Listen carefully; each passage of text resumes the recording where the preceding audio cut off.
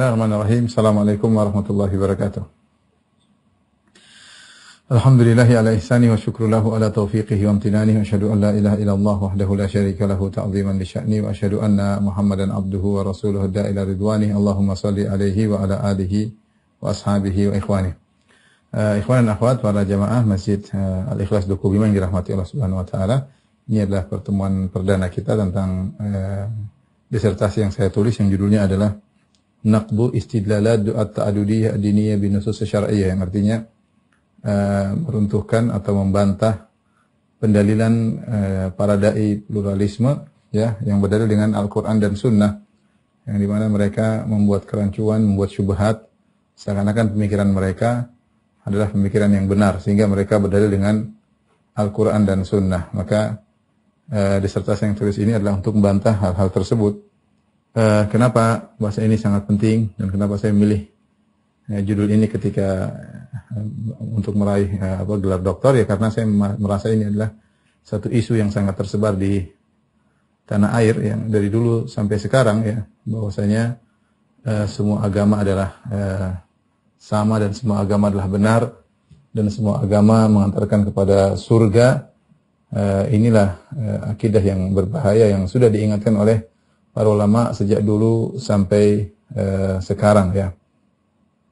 Sebelumnya supaya tidak tidak uh, rancu, maka saya ingin sampaikan bahwasanya uh, pluralisme pluralisme uh, ada dua maksud ketika seorang mengatakan pluralisme. Kalau dikatakan pluralisme artinya heterogen bahwasanya negara kita lah negara bineka tunggal ika bahwasanya kita terdiri atas berbagai macam suku bangsa dan juga berbagai macam agama, kemudian dengan kehidupan yang saling berdampingan, ya toleransi dengan yang aturan yang telah ditentukan, maka hal itu tidak jadi masalah ya. Kita tidak sedang bahas tentang itu. Bahwasanya suatu pluralisme adalah suatu yang uh, suatu kepastian yang ada di tanah air kita ya. Bahwasanya kita ini uh, bukan homogen tapi kita heterogen. Kita plural ya dengan berbagai macam suku, bangsa, bahasa dan juga berbagai macam agama ya, dan kita diatur dengan undang-undang agar kita hidup berdampingan eh, dengan eh, saling apa namanya toleran di antara kita eh, kalau itu tidak jadi masalah ya tidak jadi masalah ya sebagaimana Nabi SAW ketika beliau datang ke kota Madinah ya beliau alaihissalatu wassalam mendapati komunitas-komunitas yang beragam di kota Madinah ada komunitas eh, orang-orang uh, musyrikin yaitu suku Aus dan Khazraj yang belum masuk Islam. Kemudian juga ada komunitas kaum muslimin yaitu suku Aus Khazraj yang masuk Islam yang kemudian diberi nama dengan kaum Al-Ansar dan juga ada komunitas orang-orang Yahudi orang-orang Yahudi yang terdiri atas tiga suku yaitu suku Banu Qainuqa, suku Bani Nadir dan suku Banu Al-Quraidah. Jadi Rasulullah SAW sendiri mendapati tiga komunitas ya di di apa namanya di kota Madinah. Kemudian Rasulullah SAW membuat uh, suatu undang-undang yang dikenal dengan Piagam Madinah ya atau Wathiqatul Madinah yang kemudian dalam undang-undang tersebut diatur tentang bagaimana uh, ber, berwarga negara dalam kota Madinah termasuk kerjasama ketika ada musuh yang menyerang dari luar. Ya. Jadi kita tidak sedang bahas pluralisme dari sisi itu ya. Jangan sampai ada yang mengatakan uh, apa namanya kita anti pluralisme secara mutlak. Enggak. Pluralisme yang sedang kita bahas bukan itu. Itu nggak ada masalah. Itu adalah uh, heterogen, uh, kebinekaan yang untuk tinggal apa bineka tunggal ika ya. Dan selanjutnya yang kita bahas adalah pluralisme dalam artian yang diseru-serukan oleh uh, dai-dai liberal bahwasanya semua agama sama ya dan semua agama benar dan semua agama masuk surga.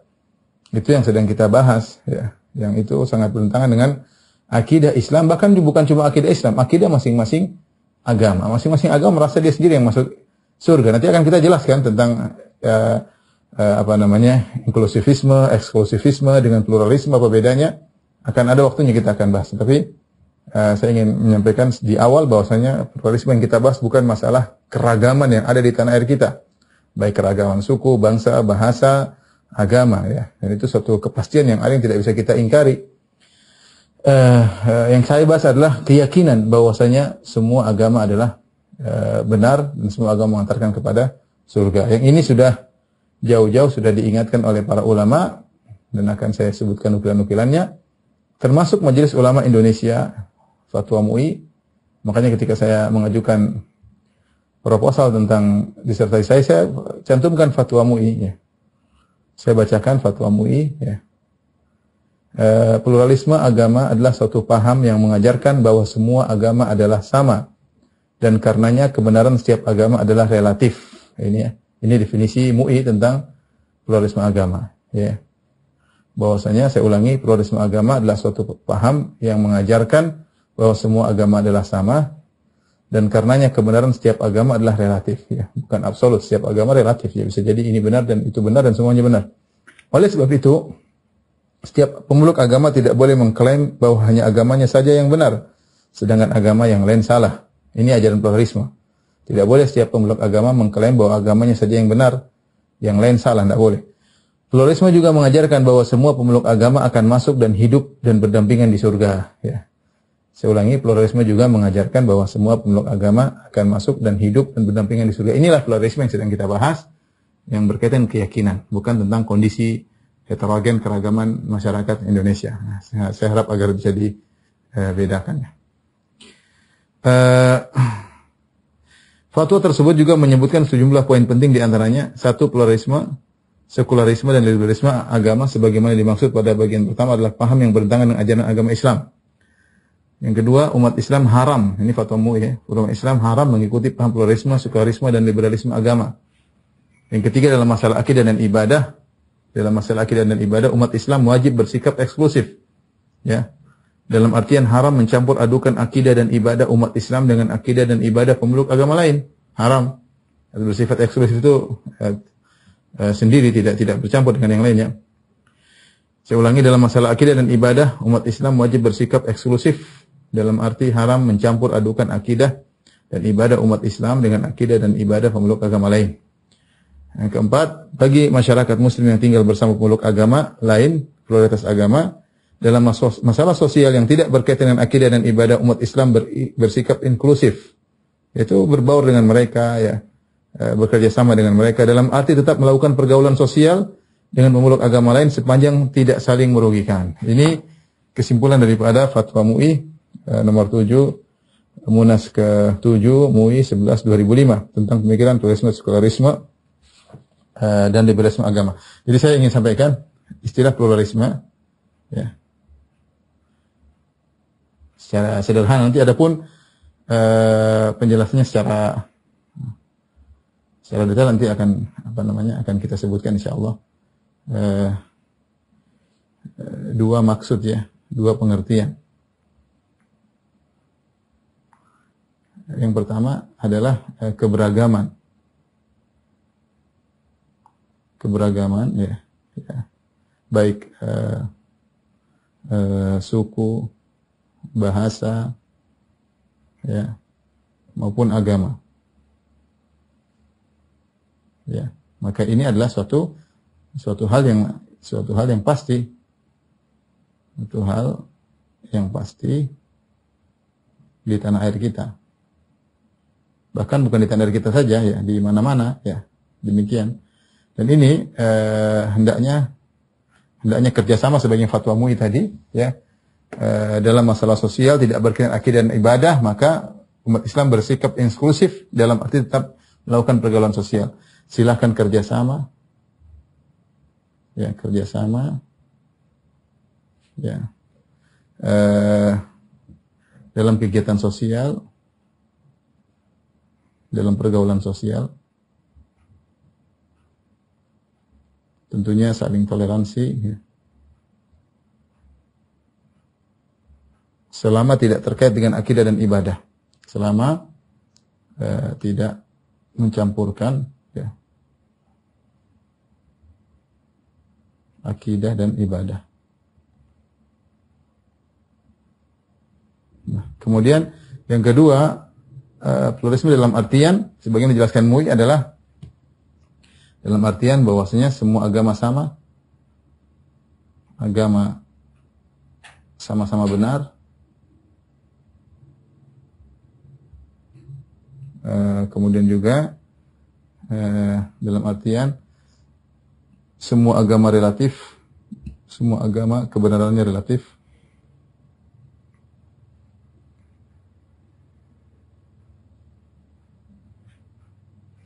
Kemudian di antaranya semua agama di surga, semua penganut agama,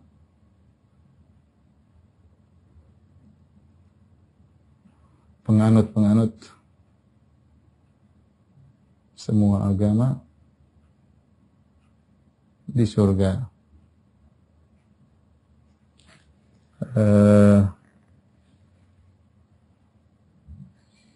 ini ini eh, poin-poin dari pluralisme. Inilah yang diharamkan. Ini boleh, ya. Ini haram. Ya ini diharamkan oleh MUI. Ya. Oleh MUI sebagaimana fatwa MUI. Bahkan saya katakan ini adalah kekufuran. Bukan hanya sekedar haram. Kalau haram masih terlalu apa ya, terlalu santun. Ini adalah kekufuran. Karena keharaman bertingkat-tingkat. Ini adalah kekufuran dan pembatal keislaman. Sebagian dijelaskan oleh para ulama. Baik. Jadi poin yang akan kita bahas adalah poin yang ini. Ya. Adalah poin yang ini. Ini yang mau kita bahas. Poin nomor dua yang mau kita bahas. Ya.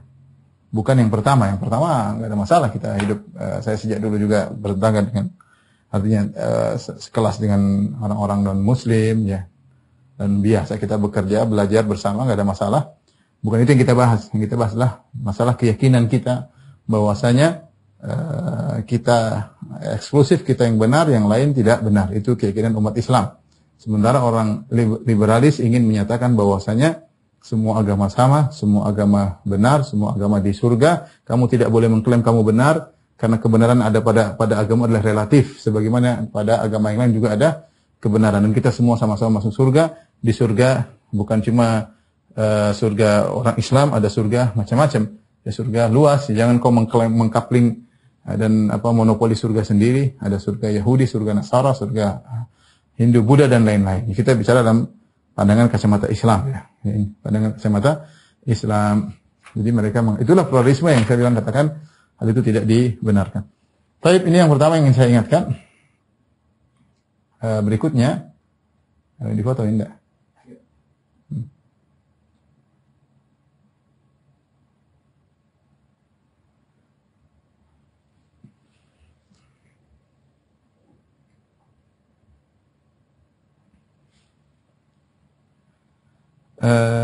berikutnya uh, urgensinya kita membahas masalah ini.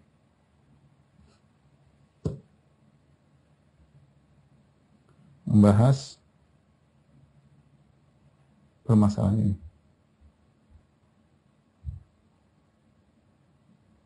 Ada beberapa poin yang saya sebutkan ya. Urgensi kenapa saya harus menulis uh, pembahasan ini sehingga saya tulis dalam bentuk disertasi. Ada beberapa poin yang pertama bahwasanya ini berkaitan dengan pokok akidah. Ini berkaitan dengan pokok akidah. Ya. Apa pokok akidah kita? Bahwasanya Islam satu-satunya Islam satu-satunya agama yang diridhoi. Agama tauhid.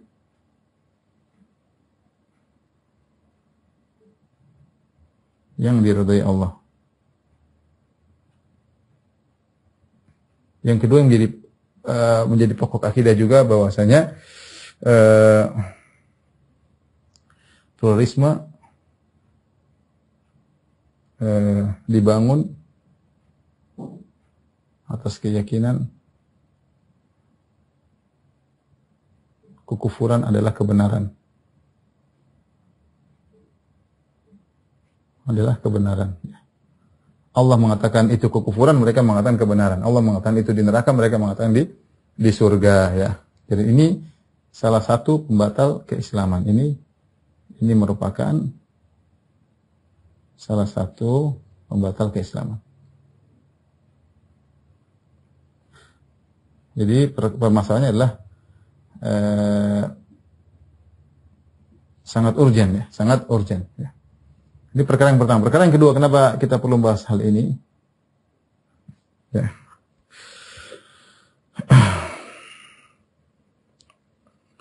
Uh, penyebaran pluralisme tersebar di tanah air kita dengan uh, masif ya. Penyebaran pemahaman pluralisme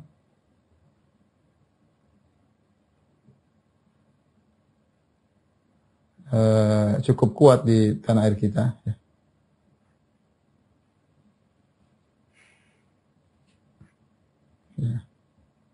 Di antara misalnya uh, di Universitas Islam, Islam di tanah air. Kemudian uh, demikian juga melalui sebagian orang-orang uh, yang terkenal ya disebarkan melalui tokoh-tokoh yang terkenal ya. Terkenal di ya di dunia maya di berita-berita yang mereka uh, ikut melariskan pluralisme. Kemudian berikutnya yang juga sangat berbahaya adalah uh, pengkhianatan ilmiah, pengkhianatan ilmiah ya.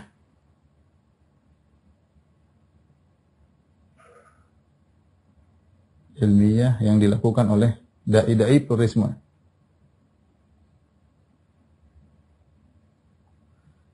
Dai-dai pluralisme. Ya. Padahal mereka adalah uh, orang-orang akademisi yang mengaku bahwasanya mereka ilmiah, bahwasanya mereka menukil dari buku-buku. Ya, tapi ternyata kalau kita cek isinya adalah kedustaan. Isinya adalah nanti akan saya akan buktikan karena saya bukan asal bicara saja karena saya menukil buku-buku mereka, saya baca-baca buku mereka. Buku mereka masih ada sama saya. Uh, mungkin suatu saat saya akan bawakan dan saya akan tunjukkan. Ya. Contoh uh, mereka uh, di antaranya mereka memotong-motong ayat, bentuk-bentuk pengkhianatan ilmiah mereka. Pengkhianatan ilmiah mereka di antaranya misalnya eh, memotong-motong ayat. Ayat tidak ditampilkan secara utuh tapi dipotong sehingga seakan-akan memberi kesan yang bertolak belakang daripada makna yang eh, sebenarnya. Misalnya juga adalah memotong perkataan para ulama dan ini sangat banyak memotong-motong perkataan para ulama.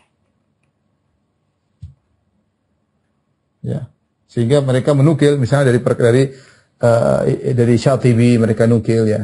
Kemudian dari Ibn Taimiyah, mereka dari Ibnu Qayyim, mereka nukil dari uh, ahli tafsir seperti At-Tabari, Al-Qurtubi, Ar-Razi dan lain-lain. Yang seakan-akan ulama-ulama ini Syatibi, Ibn Taimiyah, Ibnu Qayyim Ar-Razi, kemudian uh, Tabari Al-Qurtubi seakan-akan adalah dai pluralisme. Tapi ini adalah produk baru yang kita baru tidak, tidak pernah kita dengar di nenek moyang kita. Ini baru muncul abad 20 dibawa oleh orang-orang pegiat uh, liberalisme. Kemudian mereka ingin mengesankan bahwasanya uh, ulama-ulama terdahulu seperti uh, Tabari Al-Qurtubi, Ar-Razi dan lain-lain uh, menganut mengusung uh, apa namanya pemahaman mereka. Ini pengkhianatan ilmiah yang mereka lakukan benar-benar mereka berbohong. Mereka berbohong. Saya tidak saya tidak ini mereka benar-benar berbohong. Nanti akan kita uh, sebutkan. Insyaallah taala. Kemudian uh, urgensinya kita bahas ini di antaranya uh, muncul karya-karya ilmiah ya adanya karya-karya ilmiah karya ilmiah, disertasi maupun uh, tesis dan yang lainnya ya yang ditulis oleh para doktor yang yang mendukung pluralisme. Jadi bukan main-main ya, bukan hanya buku buku apa namanya istilahnya buku abal-abal, tapi buku benar-benar ditulis disertasikan, dibimbing oleh dosen pembimbing. Nanti mungkin kalau saya baca dosen bimbingnya mungkin sebagian kita akan kaget. Tapi intinya Ya, saya contohkan seperti buku-buku yang ditulis oleh mereka, seperti contohnya argumen pluralisme agama. Argumen pluralisme agama ditulis oleh Dr. Abdul Muksid Al-Ghazali atau Dr. Al Muksid Ghazali. Karya ini asalnya merupakan disertasi untuk meraih gelar doktor. Jadi di, di, diujikan dan meraih gelar doktor dengan judul seperti itu, argumen pluralisme agama. Dia membawakan ayat ataupun hadis yang seakan-akan bahwasanya pemahaman seperti ini semua agama benar semua agama di surga itu datang dalam Al-Quran dan hadis. Itu ini kita tahu ini nggak benar ya, tapi ya kita ingin tahu kebohongan mereka di mana. Uh, artinya seperti itu. Jadi mengesankan seakan-akan Al-Quran dan hadis uh, mendukung pluralisme agama.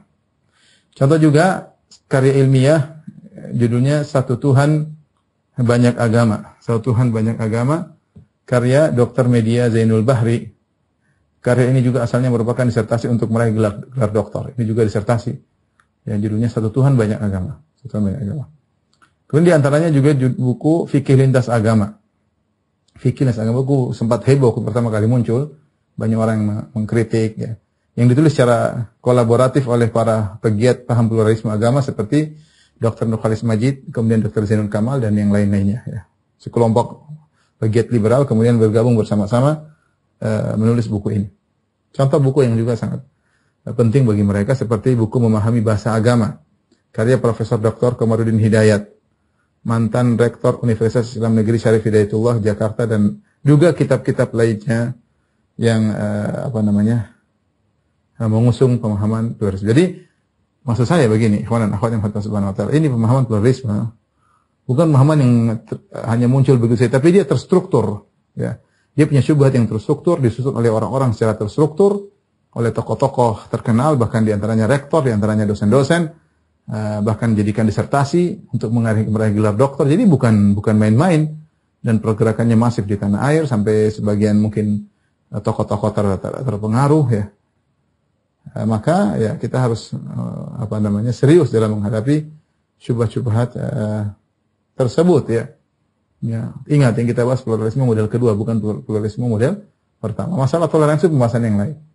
Ini masalah meyakini agama kita yang paling benar, agama yang lain adalah agama kesyirikan.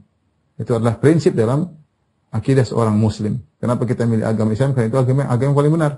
Mereka ingin balik bahwasanya semua agama benar. Semua agama benar. Yang kelima, urgensi masalah ini yang paling penting di antaranya adalah tentunya untuk membentengi masyarakat. Kenapa kita harus membantah syubhat mereka untuk membentengi masyarakat ya. E, dari akidah yang menyimpang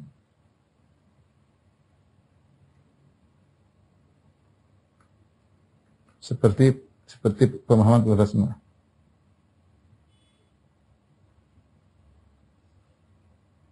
Dan alhamdulillah eh, banyak ulama Indonesia atau dai Indonesia yang telah berjuang yang kita apa ber, berterima kasih kepada mereka semoga Allah membalas kebaikan mereka. Di antaranya yang di garda paling depan adalah MUI dengan fatwa yang dikeluarkannya. Demikian juga sebagian dai-dai yang terkumpul dalam sebagian uh, yayasan atau kelompok yang mereka uh, konsen untuk membantah pemahaman-pemahaman liberalisme dari berbagai macam sisi dan sudah lama mereka berjuang. Saya hanya sekedar menyambung tangan uh, apa namanya apa yang sudah mereka perjuangkan tinggal saya uh, apa namanya masuk dari sisi yang lain ya. Tapi intinya ini bukan hal yang baru sudah diketahui oleh uh, para dai di tanah air dan mereka sudah berjuang sejak lama membantah syubhat-syubhat ini bahkan sudah dikeluarkan fatwa secara khusus oleh MUI meskipun fatwa tersebut jadi bahan tertawaan oleh sebagian dai-dai liberal ketika turun keluar fatwa ini mereka tertawa-tertawa saja uh, mereka tidak menganggap satu yang penting bagi mereka. Tapi kita lanjutkan uh, jemaah uh, Masjid Al-Ikhlas Dukowima yang dirahmati oleh Allah Subhanahu wa taala.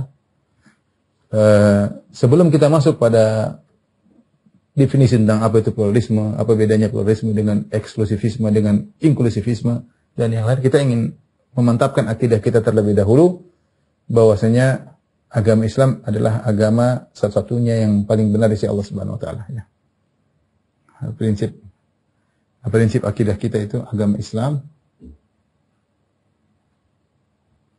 adalah sesatunya agama yang diridhoi Allah.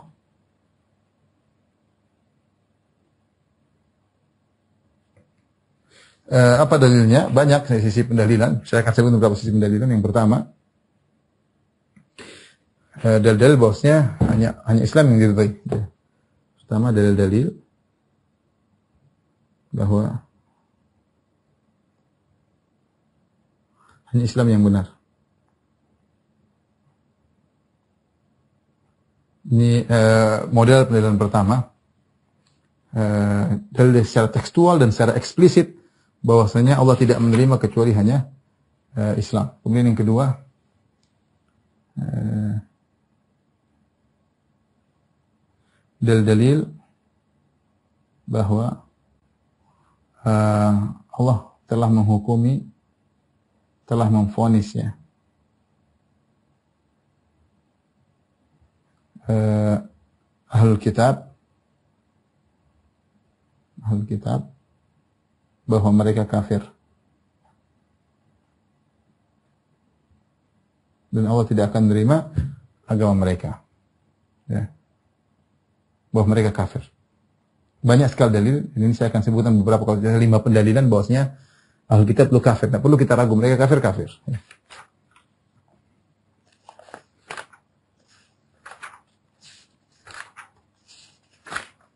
Uh, kemudian dalil bahwasanya juga pendalilan tiga ya bahwasanya Al-Quran adalah muhaimin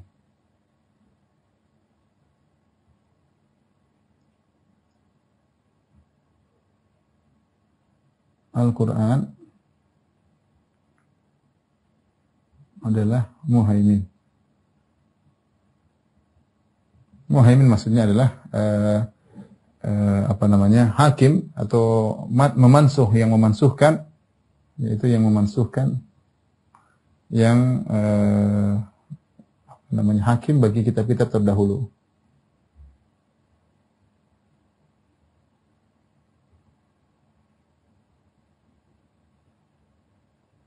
gampangannya yang eh, memansuhkan lah gampangannya. Artinya kecuali yang tidak kecuali yang tidak dimansuhkan tapi secara umum mansuhkan kitab-kitab terdahulu jadi hanya boleh berhukum tidak, tidak boleh berhukum kecuali Al-Quran. Tidak boleh berhukum berhukum lagi kecuali dengan Al-Quran.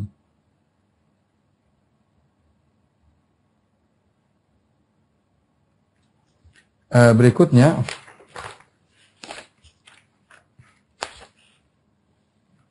uh, yang ke yang ketiga yang keempat tambahkan di sini Allah mewajibkan para nabi agar mengikuti rasul terakhir Allah mewajibkan seluruh nabi untuk mengikuti nabi terakhir Nabi Muhammad SAW, Rasul terakhir. Yaitu Rasulullah SAW. Sallallahu alaihi wasallam.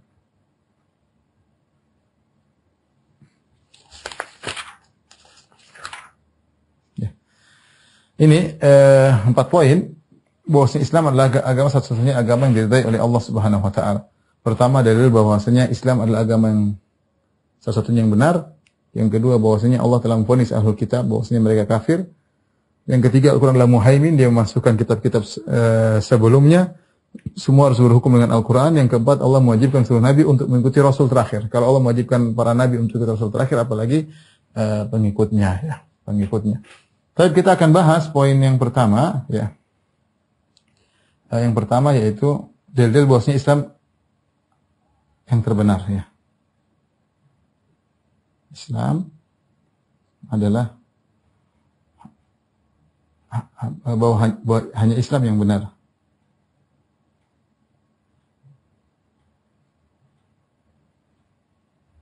Agama yang benar.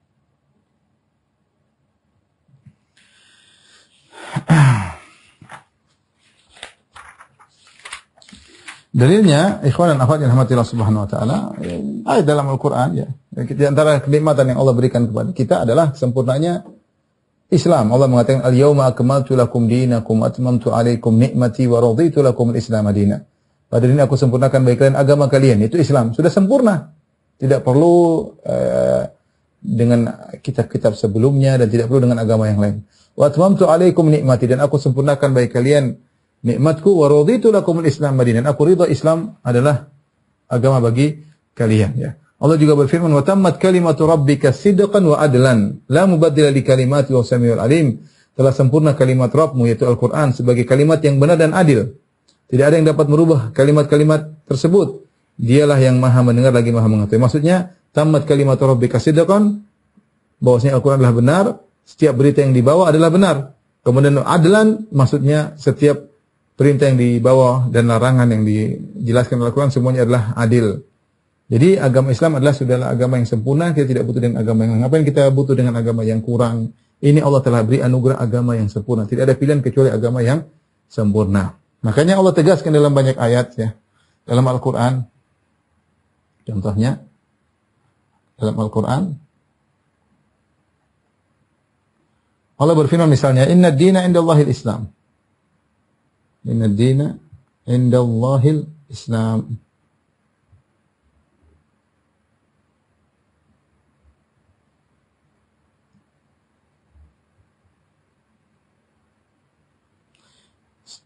agama yang diridhoi oleh Allah hanyalah Islam. Ya. Sesungguhnya Allah mengatakan inna dina. Sesungguhnya agama yang diridhoi hanyalah Islam.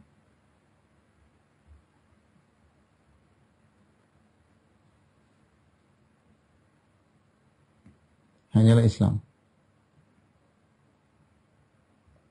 Uh, di antaranya juga firman Allah Subhanahu wa taala misalnya firman Allah Subhanahu wa taala wa may yabtaghi ghayra al-islam dinan fala yuqbal min kata Allah wa may yabtaghi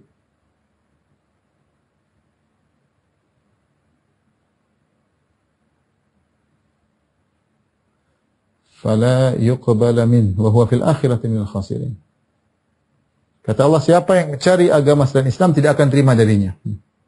Siapa yang mencari atau menginginkan ya. Dia betul maksudnya menginginkan agama Islam.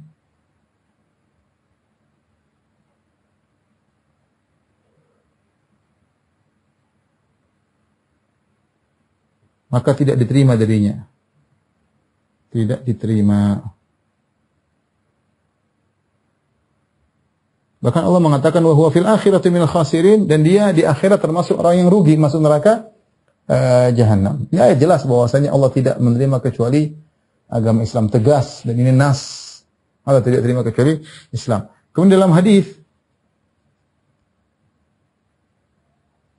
Dalam Sahih Muslim Rasulullah SAW bersabda, ya, perhatikan, Qala sallallahu alaihi wasallam, نفس محمد بيده. لا يسمع بي أحد من هذه الأمة. يهوديا يهودي ولا نصراني؟ يهودي ولا نصراني. ثم يموت ولم يؤمن. billadhi ursiltu bihi illa min ashabin nar. Illa kana min ashabin nar.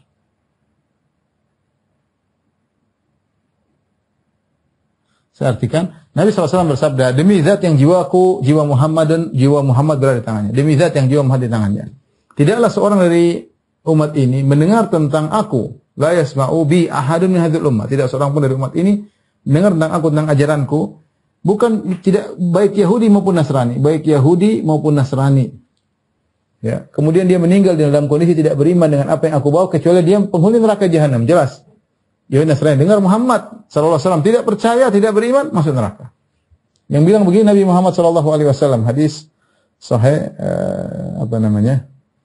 riwayat Al-Imam Muslim ya. Jelas ya. Imam Nawawi mengatakan kenapa disebutkan tentang Yahudi Nasrani? Karena Yahudi Nasrani adalah kalau kita katakan orang kafir terbaik, mereka pernah punya kitab. Orang-orang kafir yang lain tidak tidak punya kitab samawi.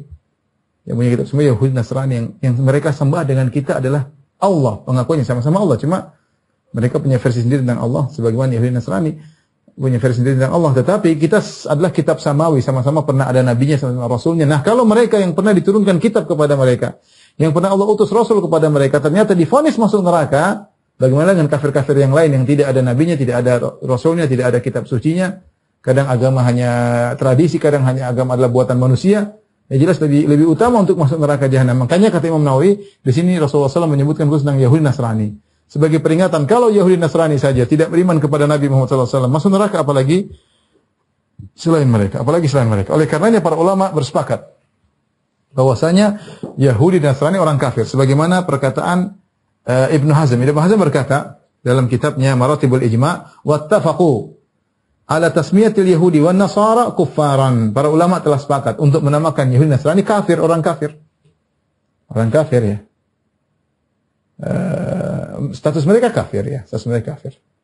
Atau orang sekarang mengatakan non muslim, non muslim sama dengan kafir, non muslim sama dengan kafir ya.